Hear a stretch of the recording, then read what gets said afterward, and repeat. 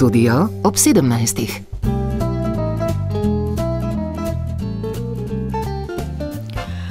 Dober dan, drage poslušalke in dragi poslušalci. Vsaj tri smočišča ta konec tedna napovedujejo začetek smočarske sezone na omejenih progah. Že čez dobro uro bodo z brezplačno nočno smuko na dveh progah zimsko sezono prvi začeli na kopah. Ostala smočišča pa se pripravljajo na začetek smočarske sezone, za katero upajo, da bo tudi vremensko boljša od lanske. Po lanskoletnih obsežnih 80 milijonskih naložbah v infrastrukturo in v ponudbo gorskih centrov, pa si tudi srednja in manjša smočišča želijo sistemske pomoči države. Ministrstvo za infrastrukturo ne bi za vzdrževanje žičnic to sezono namenilo dobre 3 milijone evrov. Negotovost pred novo zimsko sezono pa je še povečalo spremenjeno obračunavanje omrežnin, ki bo vplivalo na poslovanje. V Sloveniji je 64 smočišč, smočišče na Kaninu je zaprto, občini lastnici sta začasno zaprli tudi smočišče na Starem vrhu. Zaprta smočišča pa nimajo posledic zgolj na poslovanje družb, temveč tudi za ljubitelje smučanja in za nadaljni razvoj smučarskega športa. To bodo tudi teme današnjega studia ob 17. v katerem bosta v Ljubljanskem studiu sodelovala podpredsednik Združenja slovenskih žičničarjev Janez Janša in predsednik Smučarske zveze Slovenije Uroš Zupan. V Mariborskem studiu pa lepo pozdravljam Duško Godina, direktorico Agencije za energijo. Dobr dan tudi v Maribor. Dobr dan. In dober dan, seveda, spoštovana gosta tudi v Ljubljanskem studiu. Naj uvodoma tudi povem, da smo v oddajo povabili tudi predstavnika Ministrstva za gospodarstvo, turizem in šport, a se vabilu zaradi delovne prezasedenosti niso odzvali. Janez Janša, morda za začetek tokratnega studija ob 17. vprašanje za vas, kako ste slovenski žičničari pripravljeni na novo smučarsko sezono?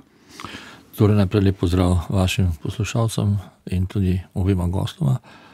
Uh, kot mi je znano, uh, ravno dva dni nazaj smo imeli vse odpravnega odbora. Večina smočišč uh, je v tem, da pripravijo uh, smočišča za novo sezono, nekateri smo tem, s tem malo pohiteli, uh, drugi pa nam bodo v naslednjih tednih uh, sledili. Vendar pa je uh, tako kot je tudi tema današnjega uh, sestanka ali pa pač srečanja, uh, veliko, veliko, veliko neznank, kaj, kaj bo z stroški, kajti stroški so prišli tik pred, napovedani stroški so prišli tik pred sezono, zato niso bili kalkulirani niti ne v cenah. Ne na zadnje pa je. Nedolgo tega nazaj, seveda, prišlo tudi do tega, ali so ti stroški uh, seveda pravilno obračunani, govorimo predvsem o mrežnini za elektriko. In uh, z veseljem pričakujem današnjo gosto, da bo povedala, kako je s tem. No, na kaj vi opozarjate, na kaj opozarjate upravljavci žičnic? Nekateri so zelo zaskrbljeni, saj so računi, ki ste jih dobili za mesec oktober, bili znatno višji. Ja, najprej, seveda, ne, uh, tako kot je bilo mogoče dana možnost uh, zasebnim odjemalcem, se pravi fizičnim osebam, na neko prihodno obdobje, nam ni bilo dano, uh, se pravi gospodarstvenikom. Uh, druga stvar pa je, seveda, potem, ko so se pojavili računi, uh, sedaj prva, uh, prva, prvi obračun za mesec oktober v letu 2024. Uh, smo pač res, res bili presenečeni nad tem, kakšne visoke uh, visoki zneski so, uh, in pa seveda, kako, na kakšen način je bilo to obračunano. Vi ste tudi direktor RTC Krvavec. Kaj konkretno recimo, to pomeni za vašo družbo, za vaše smočišče? Konkretno, jaz sem si tukaj pripravil nekaj izpiskov. Zadnjič na odboru za infrastrukturo sem imel s sabo podatke za uh, smočišče Pohorje, eno odjemno mesto, odjemno mesto. Tukaj v Nakrvalcu bi lahko povedal, recimo, za primer. Kabinska žičnica uh, zgoraj ima odjemno mesto in uh, v, pustimo zdaj kilovate uh, omrežnine, tukaj ne da je zanemarljivo, je nekje 100%, uh, 100 podražitev, zato ker zdaj potrebno nam računajo dvakrat en kW omrežnine, enkrat se pravi najprej dogovorjeno, kot neke pogodbe, ki jo sicer nisem podpisal. Drugič pa potem po prevzeti. No. Ampak, seveda, vse skupaj pa eskalira uh, pri prispevku uh, pravi, virov, uh, zelenih virov energije, uh, kjer recimo smo uh, pravi, v letu 2023 plačali za odjemno mesto kabinska žičnica v mesecu oktobru 555 evrov, letos 2650 evrov. Uh, to je pri, približno za petino, petkrat draže. Poleg tega, da, seveda, da je tudi manj kilovatorjev dobavljenih. Ne. Še uh, večji, uh, večjo uh, razmerje je med uh, odjemnim mestom Sedežnica Zvoh in Nivice, kjer smo nas plačali v oktobru 3 evre tega OVE prispevka, letos 4838 to, to so nenormalni zneski, lahko bi potem še vem, za Kransko goro, žičnica poligon, danes je 472, letos 4685, lečnica Črni vrh, danes je 149, letos 1770 in tako naprej. Sprav, ni to zdaj samo nekaj, ampak je to res nenormalna podražitev. Hvala lepa, to so bili torej konkretni primeri. Gospa Duška Godina, vi ste direktorica Agencije za energijo, bi lahko pojasnili, zakaj prihaja do takšnih razlik, stroški so uh, izrazito višji na položnicah. Ja, lahko pojasnim določene dele, pri čemer je takoj v uvodu o, treba izpostaviti, da je nujno treba ločevati med omrežnino in prispevki za obnovljive vire energije. Sprva je gospod Janša povedal, da je, je zelo vprašljivo, kako je bila omrežnina obračunana na koncu. Zdaj te podatki, ki se nanašajo na dvige, pa se seveda nanašajo na prispevke za obnovljive vire energije in to sta dve popolnoma ločeni zadevi, ki pa sicer, sicer pa en del. Uh, sprememb na področju obračuna omrežnine, uh, torej v majhnem obsegu, vpliva seveda tudi na prispevek za obnovljive vire energije. Kaj je torej prva razlika, ki je privedla do višjih zneskov, kot je bilo to lani v oktobru, je ta, da je uh, po naši metodologiji določena minimalna moč, ki jo uh, morajo vsi odjemalci plačati. To je torej popolnoma vse odjemalce tukaj enako obravnavamo. Zakaj je temu tako? Zato, ker jim je omrežje dejansko vsem, ki imajo sklenjeno soglasje, za, ki so dobili soglasje za priključitev, jim je omrežje vse čas na razpolago in elektro, elektrooperaterjem tudi vse čas, ne glede na rabo, neki stroški v zvezi z omrežjem nastajajo. Zato smo v agenciji določili minimalno mejo, to je 25 odstotkov moči iz soglasja za priključitev.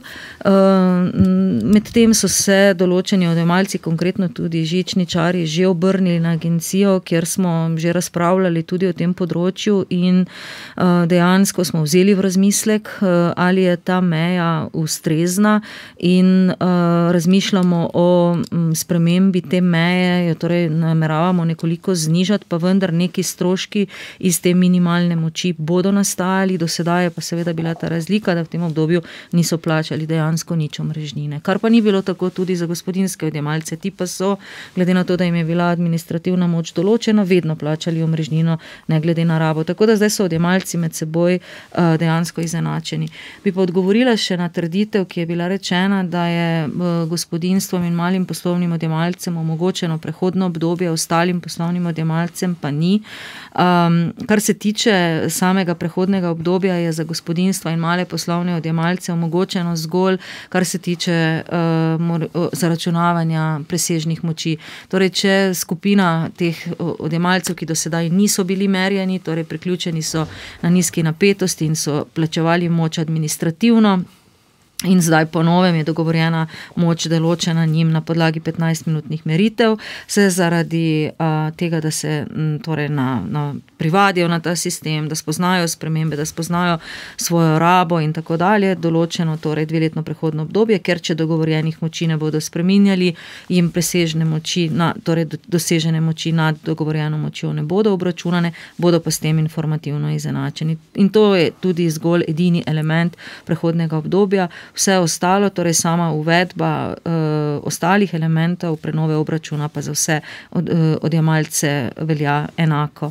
Bi pa povdarila tudi to, da, kar je bilo omenjeno, da niso bili seznanjeni, torej da je ta novost prišla uh, tik, pre, tik pred zdajci, torej pred začetkom.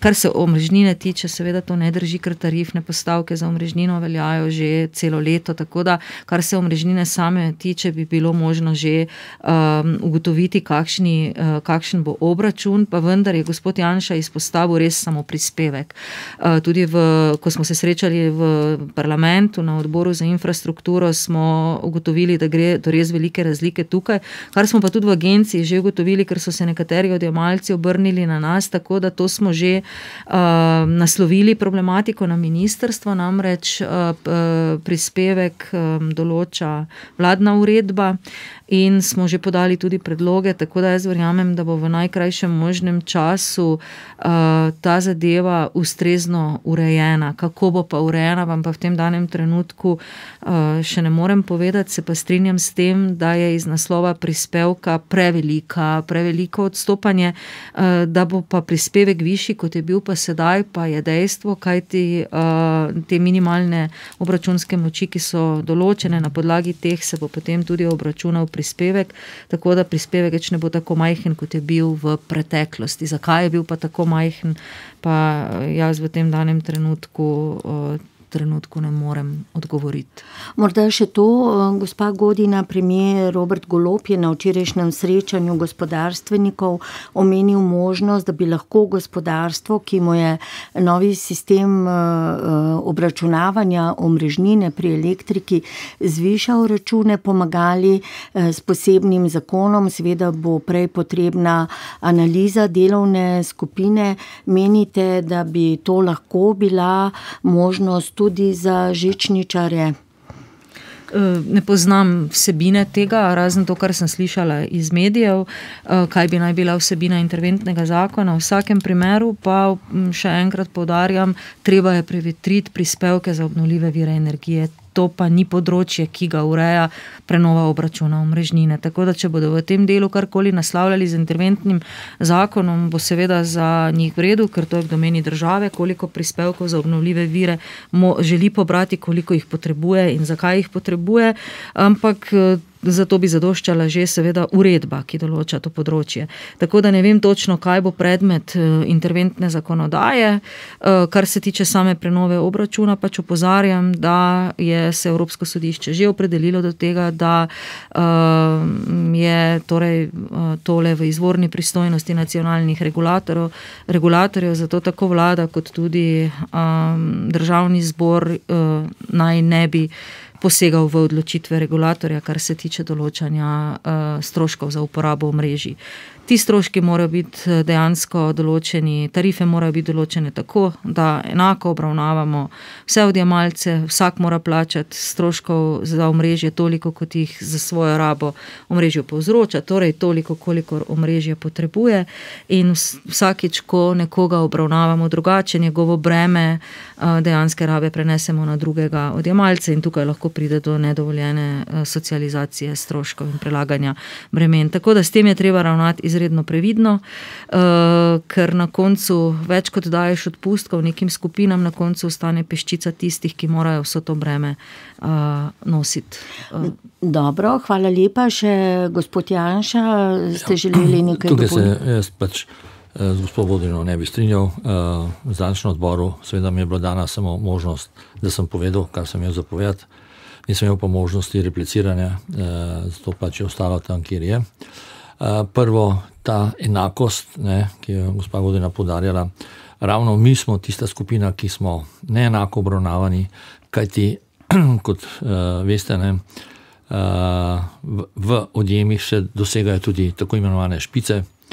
In nov izračun določa, da ko dosežeš špico v prejšnjem letu, ne, potem letos plačuješ vseh 12 mesecev po tej eh, ceni, ne, kot je določila ta špica. Ne.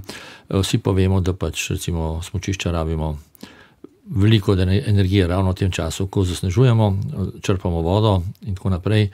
Potem tam nekje, uh, ko pa pridemo v tako normalno sezono, veliko manj, da ne govorim seveda o teh mrtvih sezonah, nekateri poleti sploh ne obrat, uh, obratujejo, ne? pa bi morali ravno tako še plačevati to visoko uh, ceno.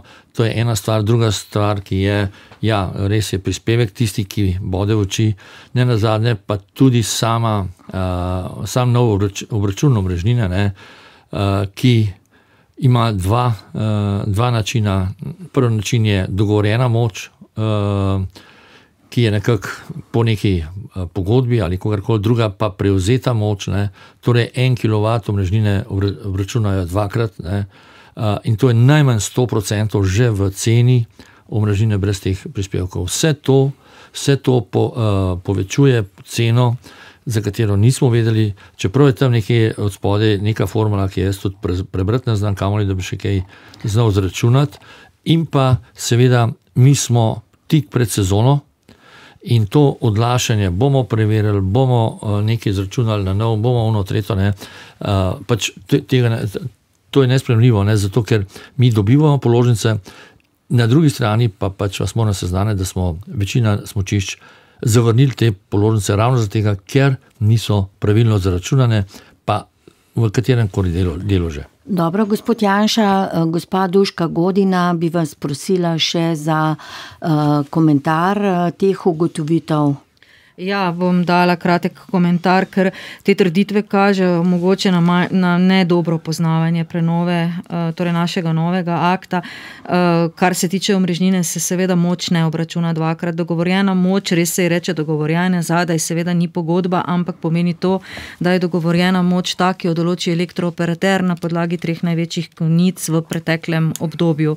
In če se odjemalec s tem strinja, se to šteje torej kot dogovor med elektrooperaterjem in odjemalcem lahko pa uh, odjemalec to dogovorjeno moč prilagodi. Še posebej, če ocenjuje, da ne vem, ima um, še posebej poslovni odjemalci, ki lahko cenijo, ali imajo manjša naročila, ali imajo v nekem obdobju manjše potrebe in tako dalje. In to lahko dejansko odjemalci vsak mesec spreminjajo. Uh, tako da ta trditev, da plačujejo potem celo leto, zato ker so začeli v preteklem letu, ne drži, ampak ravno ta nova prenova omračuna omogoča, da so odjemalci aktivni uh, in dejansko prilagajajo prilagajajo tudi te moči svojim dejanskim potrebam. Zato že danes svetujem, da prav uh, tele, ki se ukvarjajo s sezonskimi dejavnostmi po poteku torej više sezone oziroma obdobja, ko, teh, uh, uh, ko vedo, da ne bodo več dosegali tako velikih moči, dejansko uh, znižajo dogovorjene moči in sistem pomembno znižajo uh, stroške, razbremenijo del uh, omrežja. Res pa da je, to pa je uh, novost, ki pa je, torej prinaša dodatne stroške, pa ne tako velike velike, ne morejo te dogovorjene moči znižati pod minimalno določeno. Ta trenutek je ta 25 odstotkov moči iz soglasja za priključitev, pa vendar razmišljamo o tem, da bomo tole minimalno moč ravno zaradi to vrstnih dejavnosti znižali. Ampak uh, bi de, apelirala dejansko na poslovne odjemalce, akt velja že dve leti, veliko razprav je bilo na to temo, da si akt res pobliže pogledajo in ugotovijo, kakšne priložnosti imajo, ker priložnosti za zniževanje stroškov so. Nihče pa ne obračuna, ki moči, torej kilovatov, dvakrat, razen če pri tem mislite, da se enkrat uporabi ta moč pri obračunu omrežnine, drugič pa pri prispevku. Uh, tako da to sta pa dve, tako kot sem že rekla, ločeni zadevi. Tako da uh, bi res predlagala malo podrobnejšo seznanitev z uh, priložnostmi in spremembami obračuna omrežnine. Hvala lepa, gospa Duška Godina. Zahvaljujem se vam za pojasnila in vas lepo pozdravljam v Mariborski studio. Hvala lepa, nasvidenje. Nasvidenje, mi pa nadaljujemo oddajo še z aktualno problematiko naših e, smučišč. Že drugo leto ostaja zaprto smučišče na Kaninu, ki ga je že pobelil prvi sneg, žal pa bodo žičnice stale že drugo sezono. Občina Bovec kot lesnica smučišča upa, da bi država lahko financirala novo dostavno krožno kabinsko žičnico, še vedno pa bi za smučišče potrebovali tudi zasebnega vlagatelja. Kot so včeraj sporočili iz občine, projekt oživitve smučarskega centra Kanin, ki ga je predstavil nekdani smučar Bojan Križaj, ni sprejemljiv, saj doslej glavnega vlagatelja niso razkrili. Kot če napovedujejo na občini, bodo čim prej skušali pridobiti gradbeno dovoljenje za novo dostavno žičnico. Dogajanje v zadnjem letu povzema Mariša Bizjak. September 2023. Inšpektor za infrastrukturo začasno prepove obratovanje krožno-kabinske žičnice na Kaninu, saj da bi lahko bila ogrožena varnost potnikov, a mnogi so prepričani, da je šlo za ukaz.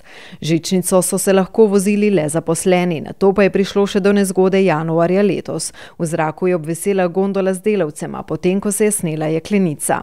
Kakršno koli obratovanje je od takrat prepovedano. Ker gre za 50 let stare naprave, so že dlje časa na Bovški občini napovedovali obnovo najvišjega smočišča pri nas. Ideje je bilo več od posebnega zakona o kaninu do zasebnih vlagateljev. Več se jih je na občini in ministrstvih zvrtilo v zadnjih mesecih, med njimi Bojan Križaj. Jaz ne vlagam nič, jaz vlagam svojo voljo. Zdaj se mi pa zelo krivično do tega, kako se je s kaninom delalo, kaj se je zgodilo z njim. Zato sem pač najprej čekiral, kakšna je situacija v državi.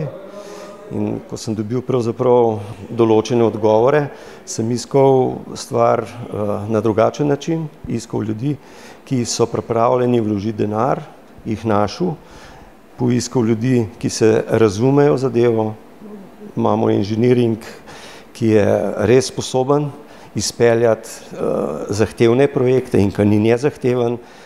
Tako je septembra po predstavitvi občinskim svetnikom za naš radio povedal Križaj, ki je projekt oživitve načrtoval skupaj z direktorjem smučarskega centra Jahorina Dejanom Levnajčem. Hitrejše gondole, nova restauracija in proge, umetno zasneževanje, ena najdaljših prog na svetu za sankanje na ternicah in še bi lahko naštevali.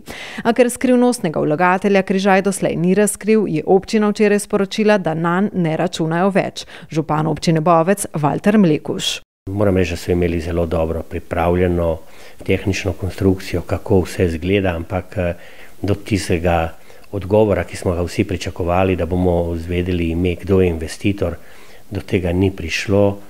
So pa dali jasno vedeti, da brez pomoči države, da brez uložka države, ga ni investitorja, ki bi zagrizel v to jabolko. Poleg omenjenega projekta so se v zadnjih mesecih za Kanin zanimali tudi v konzorciju promotor okoli goriškega podjetnika Ivana Fornazariča, ki že dolgo živi in dela v Dubaju, v Bovcu pa prenavlja hotel Kanin. Poiskali so potencijalne sovlagatelje, proizvajalca žičniških sistemov Leitner, gradbeno podjetje Riko, bovško podjetje Soča Rafting s hotelom Soča, projekt Nova Gorica in francoski STEM International, ki je pred nekaj leti že pripravil tako imenovani masterplan za obnovo Kanina. Pričakovali pa so pomoč države, je poleti povedal predstavnik podjetja Leitner Franz Alain Furlani. Cirka v vrednosti 68 milijonov, v kateri približno smo 20 do 25 odstotkov približno, zdaj pa lahko zračunate. Kar je pomembno pri tej zadevi, je pa, da multiplikativ, skozi multiplikativni faktor največ tle denarja dobi država. In država dobi trikrat več, kot pa je vložila in ta povratek državnega denarja vloženega v tole investicijo je približno 7 do 8 let. Medtem ko za privatni kapital, tudi ob tistih zdajskih se pogovarjamo, cirka 20 let. Pogoj za kakršno koli državno pomoč je od vsega začetka, da bi občina morala na državo brezplačno prenesti zemljišča oziroma služnosti, a pisnega zagotovila, da bi država v tem primeru zagotovo financirala dostavno krožno kabinsko žičnico, še nimajo, opozarja župan občine Bovec Walter Mlekuš. No, moram reči, da do današnjega dne mi nismo dobili nobenega pisma. Če se spomnimo samo 2014, ko smo, 2015, ko smo se odločili sanirati staro žičnico, je bil takrat celo sklep vlade, da bo vlada to podprla, da bo država stala za tem. Zdaj pa za obnovo in prenos zemljišča, pa brez nekega dokumenta je težko. Na vladni strani so jim sicer prav ta teden zagotovili, da bodo pismo o nameri kmalo prejeli. To naj bi vsebovalo, kaj natančno država od občine pričakuje in kako lahko država prispeva k projektu. Občina bo zato čim prej skušala dobiti gradbeno dovoljenje za novo dostavno krožno kabinsko žičnico. Na kakšen način se boste zdaj lotili priprave projektne dokumentacije in pridobivanja gradbenega dovoljenja, to je vendar strokovno delo, in koliko predvidevate, da vas bo to stalo? No, zdaj oceni, kakšna bo, ne vem, mi bomo sigurno na portalu morali, ampak mi morajo svetniki potrditi, na portalu objaviti razpis, če je kdo pripravljen to narediti. Z vedenja, koliko imam, da sta bile v obe firmi, in Doppelmayr in Leitner, že prej na terenu, da imajo pripravljeno že veliko dokumentacije, tako da najprej bo treba objaviti, potem pa bomo videli, kdo se bo prijavil in za kakšno ceno. Občina Bovec sicer še vedno ohranja pri življenju družbo Sončni kanin, ki ima še sedem zaposlenih. Plače in drugi stroški občino stanejo okoli 20 tisoč evrov mesečno. To je nujno za vzdrževanje naprav, pojasnjuje direktorica Sončnega kanina Manuela Božič Badalič ker sicer ob 6 metrov in pol snega, kolikor smo ga imeli v lanski zimski sezoni, bi nastala nepopravljiva škoda, če tega ne bi počeli in enako bomo tudi to zimsko sezono. V lanski zimski sezoni, ko je smočišče obstalo, je bil kanin zelo obiskan strani turnih smučarjev, tako da mi poskrbimo, da se plazovi prožijo, da je tudi za turne smučarje zadeva relativno varna. Seveda to počnemo prej, napovemo ali pa po noči, ko ni obiskovalcev. Kot napoveduje Božič Badalič, bo Kanin tudi letos obiskalo več snemalnih ekip za snemanje oglasov in filmov. Več podrobnosti zaenkrat ne razkrivajo, pa to seveda tudi pomemben prihodek sončnega Kanina, ki sicer predstavlja veliko breme za občinski proračun. Po sklepu občinskega sveta so želeli prodati tudi kabinske gondole. Nekaj so jih uspeli, a veliko jih je še na vrhu. Dve že skoraj leto dni visita na jeklenici.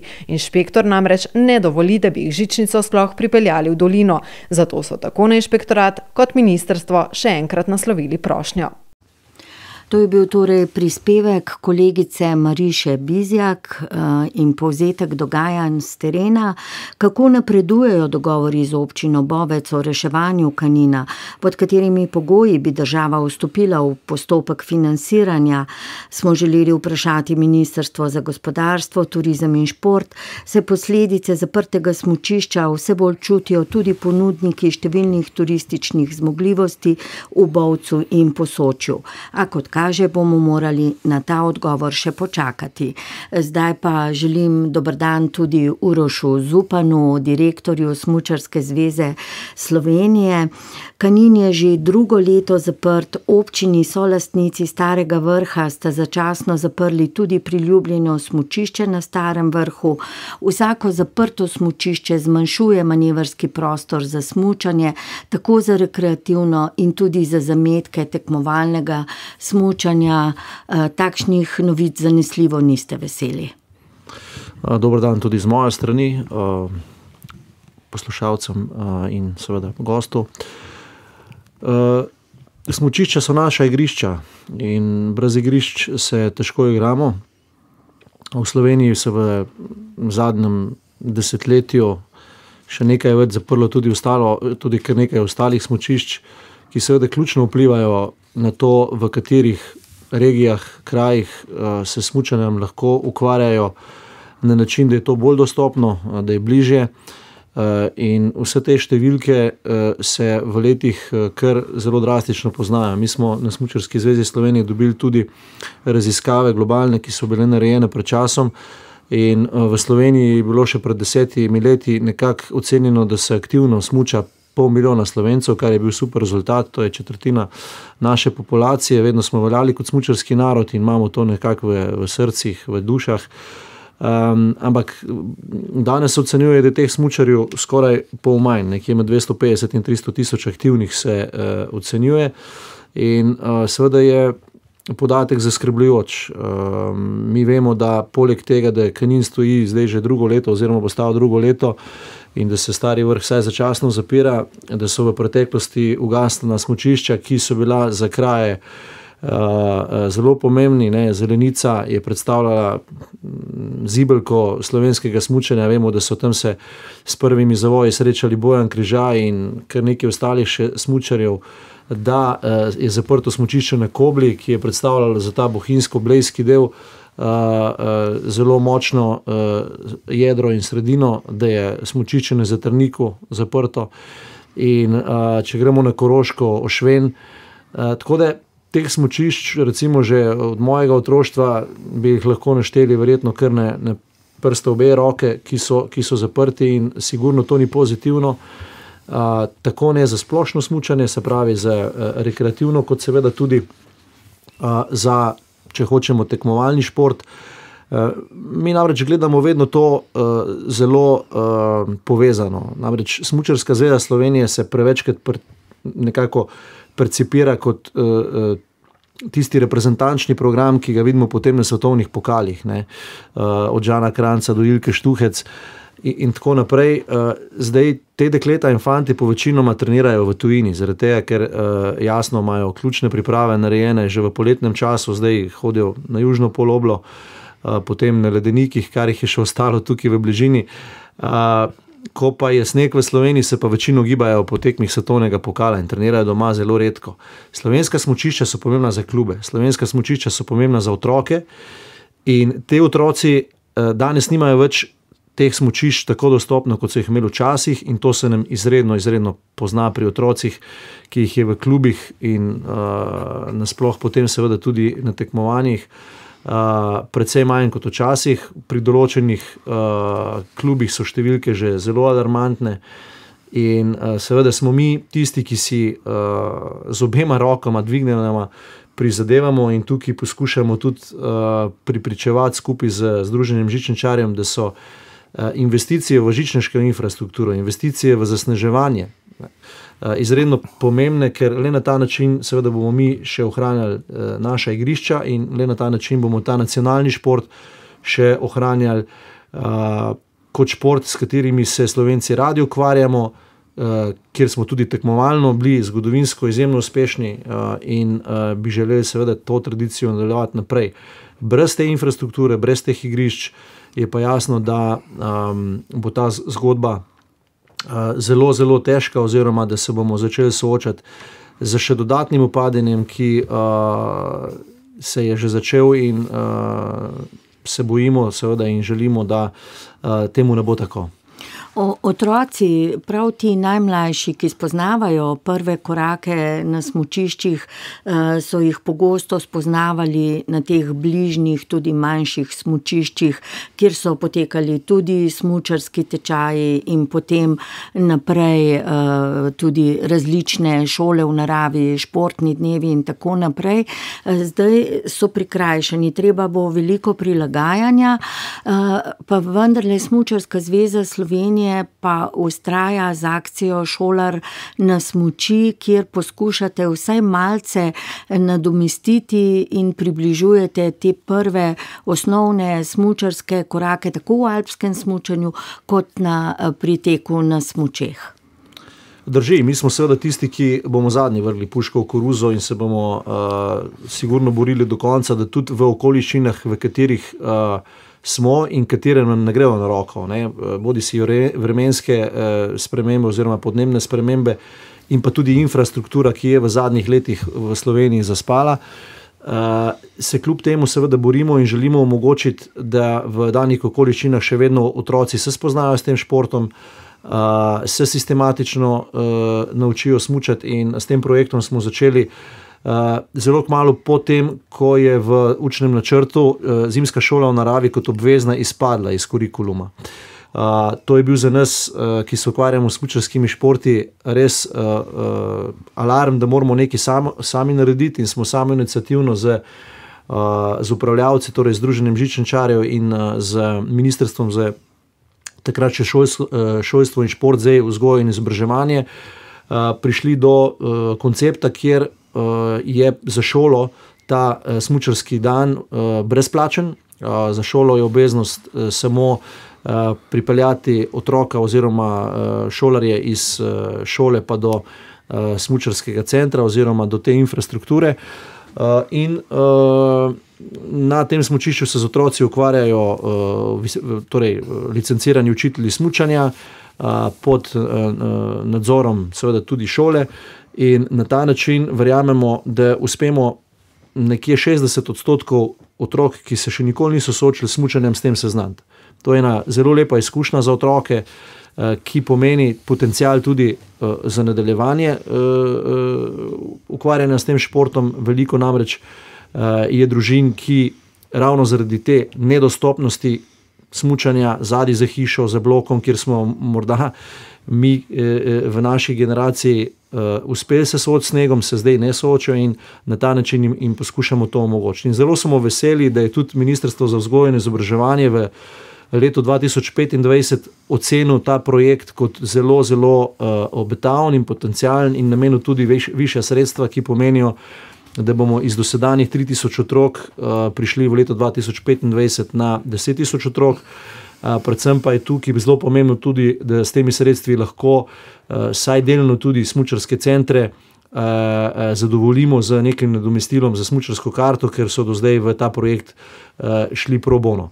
Uh, tako da tukaj smo zdaj nekako in Združenje Žičničarjev in Smočarska zveza zelo pozdravili uh, to inicijativo Ministrstva za vzgojo in izobraževanje, še vedno pa je naš ultimativni cilj, da se šola uh, v naravi zimska seveda vrne v šole, v kurikulum, ker uh, vsekakor smo prepričani, da uh, alpska država, kot smo, z uh, nacionalnim športom, ki smučanje je in vedno bo, ker smo se z smučanjem tudi uh, identificirali v času osamosvajanja in tega, seveda, uh, čustva in, in naboja uh, zgodovinskega ne more nobeno vzeti, smo prepričani, da uh, bi morala ta zimska šola v naravi biti obvezna.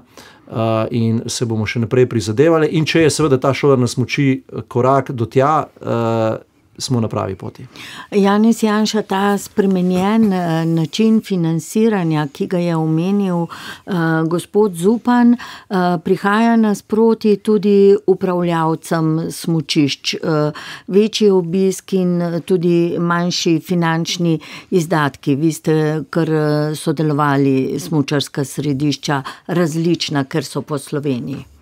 Ja, res je.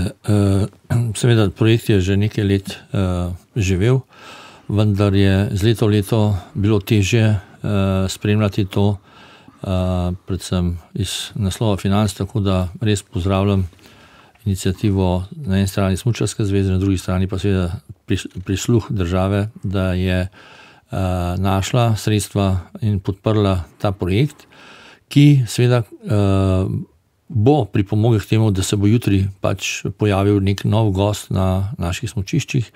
Jasno je pa istočasno pa uh, pozval uh, smuči, uh, pač državo, da pa ponovno, ponovno uvede šolo, zimsko šolo uh, smučanja za generacijo otrok, ker tukaj je res tako, uh, seveda, uh, zimsko šolo smučanja, ki bi jo financirala država. Kaj ti otroci, če spoznajo to pri svojih desetih letih, uh, bo veliko raje stopil potem zopet na, na smoči, ker bo imel neko znanje, nekaj mu bo dano v posteljico, če se temu tako reče, neko znanje, neko prijetno izkušnjo. Uh, s tem pa seveda uh, bodo postali to bodoči uporabniki naprav na smočišču, smočarskih prog na smočišču in ostalega.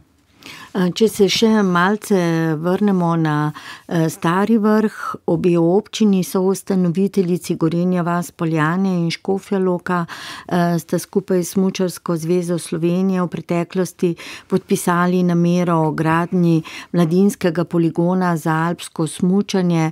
Vemo, da je bil prav Stari vrh eh, pogosto prireditelj pokala Loka, kjer so prvič zmagovala imena poznejšega tekmovalnega sveta. Eh, kalili so se tudi znani slovenski smočari, eh, smočarski Alpetur ima bogato tradicijo. Urozupam, kako pravzaprav nadomestiti zdaj eh, ta manjko, tudi precej smele načrte ste imeli z gradnjo tega poligona. Ja, zelo smo bili optimistični. Um, dobri dve leti nazaj, ko smo podpisali uh, pismo o nameri uh, z obema občinama, uh, o sodelovanju, tudi potem ustanovili skupaj zavod uh, Stari vrh. ampak žal do uh, aktiviranja tega zavoda in teh aktivnosti uh, ni prišlo, predvsem zaradi tega, ker uh, se do danes še niso rešile zadeve iz preteklosti. In te zadeve iz preteklosti, ki um, uh, so nastale zaradi konflikta, predvsem z uh, lastniki zemljišč, torej obstaja nek konflikt lastnikov zemljišč z obema lastnikoma, uh, so botrovali temu, da predvsem se ni moglo iti v razvoj. Namreč uh, v današnjem času je izrednega pomena sama tehnologija na, na smočišču. In ta tehnologija brez investicij uh, je ne mogoča. Investicije se pa lahko odvijajo samo na zemljiščih, in ta zemljišča so uh, privatna zemljišča. Uh, na starem vrhu celo je lastnikov nekje čez 20, in um, kot rečeno, z določenimi obstaja konflikt, ki ni rešen, in enostavno projekte, ki smo jih želeli uh, tam izvajati, predvsem v smeri uh, tehničnega zasneževanja in zagotavljanja pogojev, ne samo za tekmovalni šport, uh, tudi za rekreativno smočarijo, ker smočišče lahko.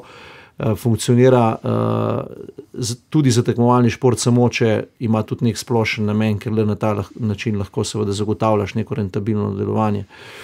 In to smo mi tudi v tistem obdobju večkrat poudarili, uh, čeprav so nekateri pač razumeli, da želimo se tem izvajati samo tekmovalno smočarijo.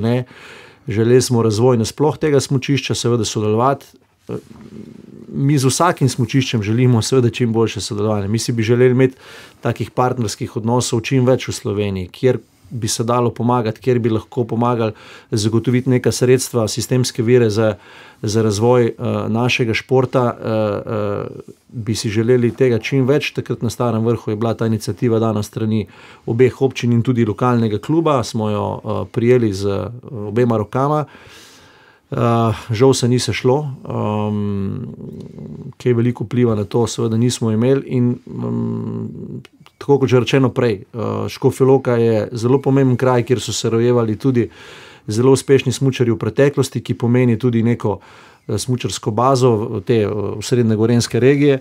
In sigurno, da, da uh, je to udarec za škofiloško smočarijo, tudi za slovensko, in um, prizadevali si bomo, uh, da bi se seveda stari vrh uh, odprl uh, nazaj v naslednjem letu.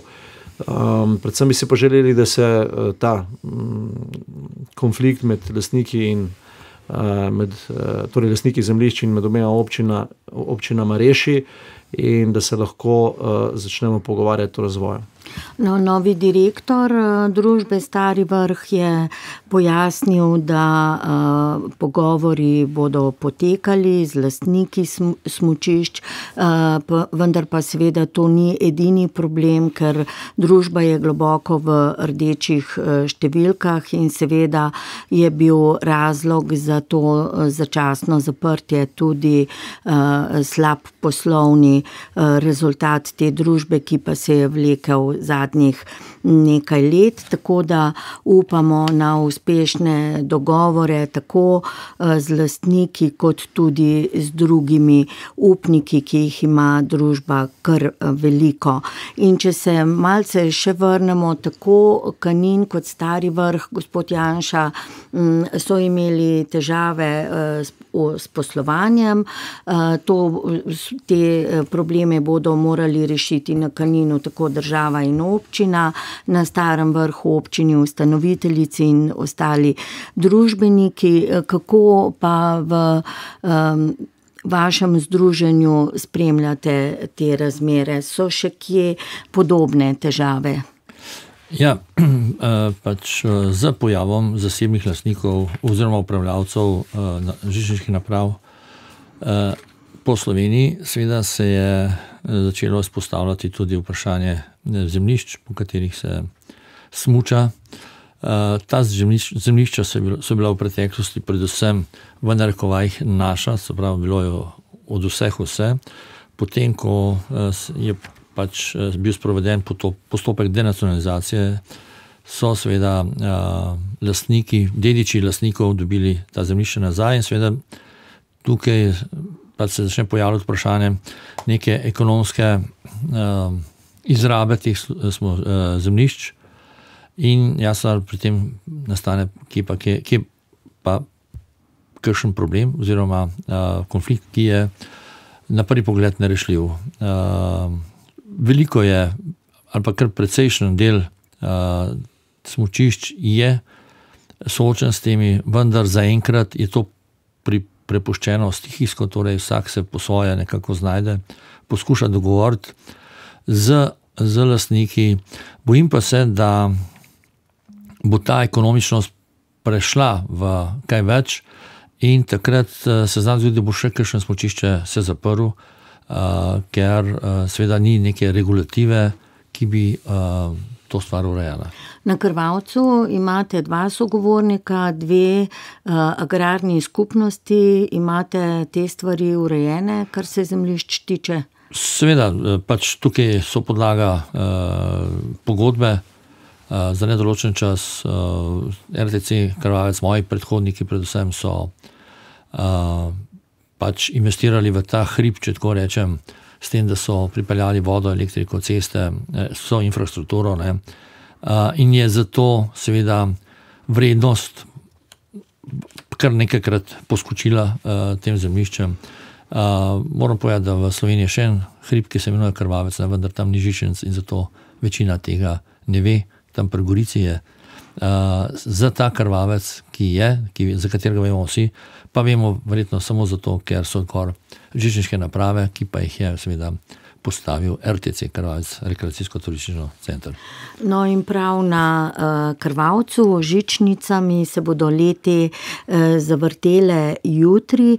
Morda se pred uh, začetkom uh, prave smučarske zimske sezone dotaknemo še cen. Smučarske vozovnice so se v povprečju podražile do 5 odstotkov. Najdražja je smučarska vozovnica v Kranski gori 47 evrov, potem sledijo Rogla in Vogel, Mariborsko pohorje uh, in uh, na Krvavcu je kakšna cena, gospod Janša? Ja, torej tukaj moram podariti, da res samo Kranska gora izstopa s tem cenam. Nekaj je bilo natolcevanja, če tako rečem, kako smo zičničari podražili, nesramno podražili ceno, vendar temu ni tako. Kot jaz vem, se je ta cena gibala med 1 do 2 evra više kot lansko leto, mi smo podražili za 2 evra, uh, kar nekako spremlja uh, stroške inflacije in stroške na trgu. Kranska gora je pa nekaj specifičnega, ker tukaj je treba povedati, da je lastnik Žižnjska Kranske gore Avstric, lastnik, ki prihaja iz Avstrije, ki ima svoje smočišče v Avstriji, ali, oziroma je solastnik. In morda s tem, ko je povišal ceno v Kranski gori, ne, nekako posredno napotuje naše uh, smočarje na tuje smočišče, spravo njegovo smočišče v Avstriji. Torej, tukaj je tudi treba prevideti, ko se prodaja uh, smočišče, ne, komu se to prodaja, ne, zakaj se prodaja, ker lahko pride do špekulacij. Eh, kaj napoveduje predprodaja smočarskih vozovnic? Ponavadi ne bi bil to prvi znak zanimanja za smočanje. Ja, dokler ni padel sneg pred nekaj dnevi, ne, je, bil, je bila predprodaja nekako v, v okviru lanskoletnih uh, sezon. Ne. No, potem se je nekoliko povečalo, vendar uh, upam, da to ni znanilec uh, samo to, ne, ampak da je znanilec tega, da smo pač uh, investirali kar nekaj v razvoj uh, upreme in naprav na uh, smočišču, in da bo to pripeljalo uh, zadostno število obiskovalcev na krvavec. Eh, slovenski žičničari si želite tudi sistemskega eh, financiranja, stalnega financiranja, eh, kakšne so možnosti, bi seveda pojasnili lahko na Ministrstvu za gospodarstvo, turizem in šport. Pridobili pa smo podatke z Ministrstva za infrastrukturo, kjer so nam pojasnili, da bodo za sofinanciranje obratovanja in vzdrževanja žičniških naprav v prihodnem letu najverjetneje namenili 3,3 milijona evrov, od tega za zimsko sezono milijon 800 tisoč evrov, ostalo pa za poletno sezono. Janes Janša, kako pomembno je to sofinanciranje za obratovanje žičniških naprav? Ja, spet pozdravljam to. Ne. To ni od letos. Ne. Tudi že v preteklih letih, vendar v manjši, manjšem obsegu, je ministrstvo sofinanciralo vzdrževanje žičničnih naprav, ki je seveda zato, da so varne, ne, ker predvsem varne in seveda, ker so več kot, bolj kot ne starejši izdelave, je tega vzdrževanja še toliko več, da so varne. Morate vedeti, da je od vseh prevozov žičniški prevoz najbolj, najvarnejši prevoz, najmanj nesreč je. Ne. Zato se tudi potem toliko bolj sliši, ker se zelo redko zgodi. In zato je težko, težko uh, izpolnjevati vsako leto zahteve, ki jih inšpektor naloži za vs vsakemu upravljavcu, za vsako posamezno napravo. Uh, mi smo letos imeli uh, ogromne, ogromne izdatke v zvezi s tem, vendar, ko odpreš uh, smočišče in če veš, da imaš uh, se pravi, potrjeno, uh, da si izpolnil vse pogoje za obratovanje naprave, je nekoliko lažje dihati, po domače rečeno. Ne. Tukaj pa seveda je treba ločiti med z, uh, sredstvi, ki uh, nam pomagajo vzdrževati te naprave, in pa sredstvi za investicije v žičniške naprave in zasneževanje. Devet slovenskih smočišč je lani izkoristilo za skoraj 80 milijonov evrov naložb v infrastrukturo in drugo ponudbo. Naložbe so se financirale tudi s subvencijami evropskih sredstev, države in z denarjem upravljavcev. Kako so se te naložbe obrestovale, predvsem poleti, vemo, da je šlo za gorske centre, in kakšna so vaša pričakovanja? Ja, uh, kot mi je znano, tudi iz ostalih centrov, ne, da ne bom zdaj tukaj le nekako predstavljal uh, Združenje žičničarjev. Ja, se to sem ja, želela na tej ravni. Tako, tako ne, uh, kot mi je znano iz ostalih centrov, ne, se pozna, da uh, je tudi poleti zdaj večji obisk uh, na smočiščih.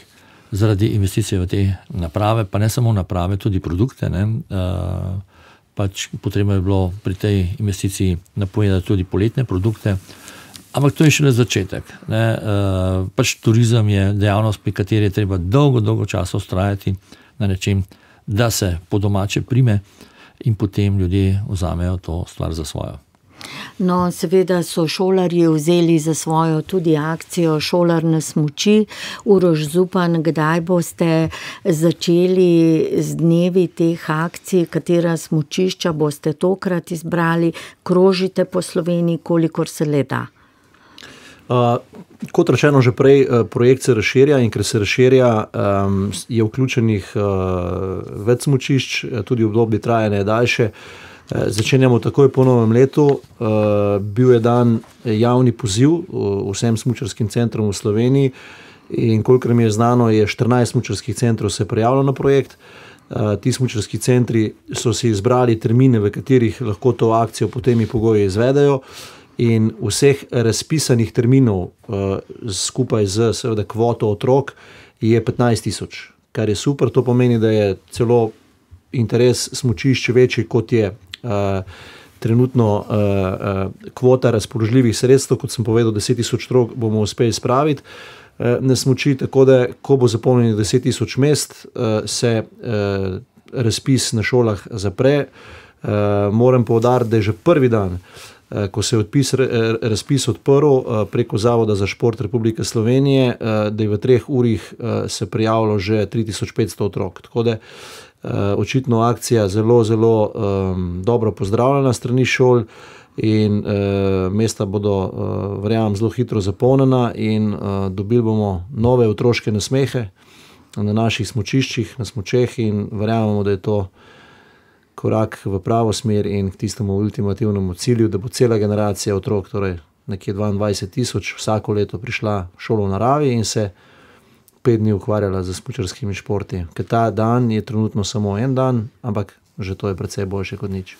No, s tem optimizmom in seveda željo po nizkih temperaturah, ki bodo številnim upravljavcem omogočale izdelovanje tehničnega snega, zaključujemo današnji studio ob sedemnajstih, v katerem so sodelovali Duška Godina, direktorica Agencije za energijo, podpredsednik Združenja slovenskih žičničarjev in direktor Krvavca Janez Janša in in predsednik Smučarske zveze Slovenije Urož Zupan.